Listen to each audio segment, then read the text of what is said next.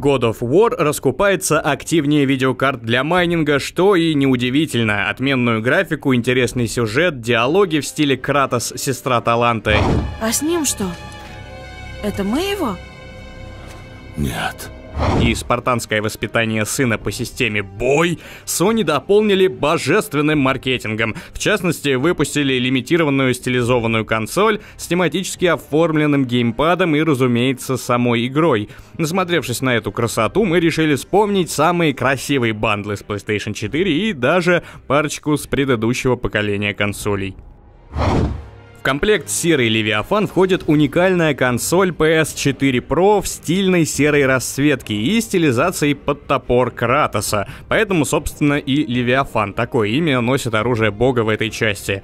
На передней панели изображено древо его способностей и украшенная рунами рукоять, а на боковых панелях красуются скандинавские обозначения всех царств из игры. Те самые Мидгарды, Нильфхеймы, Ютунхеймы, ну и легендарный Асгард, конечно. Отдельного упоминания заслуживает контроллер. Серебристый DualShock 4 украшен знаком братьев Хульдры и выглядит так, будто создан на наковальне самого Мимира. Помимо стилизованной консоли, в комплект включено издание God of War Day One Edition. В общем, бандл получился настолько эпичным, что его просто хочется взять и подарить. Японское игровое сообщество, мягко говоря, отличает оригинальность и своеобразная оценка качества. Так, игра Dragon Quest 11 от Square Enix получила собственный бандл с невероятным геймпадом и PS4 Slim.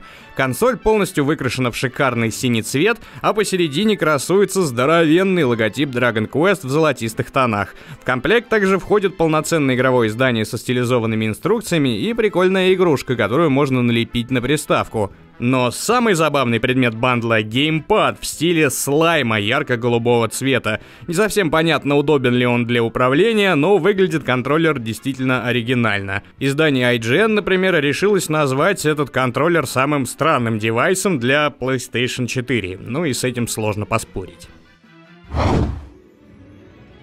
Sony обожает играть со своим фирменным серым цветом, однако на этот раз дизайнеры решили отойти от традиции и выпустить специальный бандл в честь Monster Hunter World.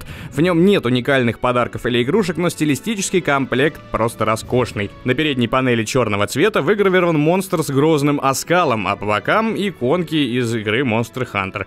Контроллер выглядит еще круче, кроваво-красный с угрожающим черным граффити по бокам. Главное меню консоли тоже кастомное, в комплекте идет идет динамическая тема оформления.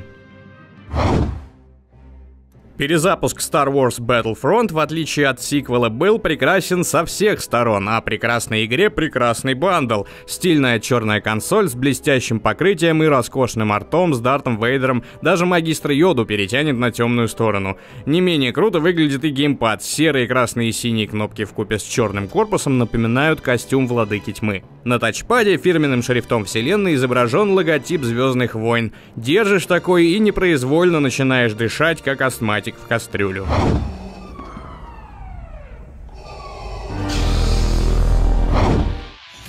Напоследок вспомним о PlayStation 3 и двух ее бандлах с крутыми битэмапами про японскую мафию Якудза 3 и Якудза 5. Поначалу дизайн белоснежной консоли с темно-серыми татуировками дракона на передней панели кажется бедным, но это заблуждение. За счет простой цветовой гаммы и отсутствия лишних деталей Sony сфокусировала внимание именно на этих самых деталях и добилась искомого аскетичного образа. Внешность у бандла Якудзы 3 получилась крайне эффектной. Бандл Якудзы 5 получился не столь мощным, но тоже клевым, а черный и золотой цвет всегда хорошо сочетаются. У PlayStation еще много отличных бандлов и изданий. Destiny, Final Fantasy XIV, издание, посвященное 20-летию PlayStation, да и многие другие.